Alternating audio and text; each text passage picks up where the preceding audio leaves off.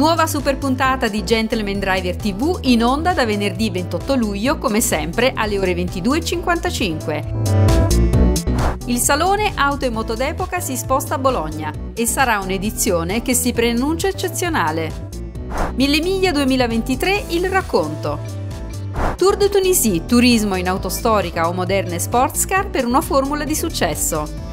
Cristiano Luzzago in questa puntata alle prese con un'auto speciale, una sorpresa. Rievocazione storica della stella alpina, un evento al quale non si può mancare, tra storia, natura e passione per le auto storiche.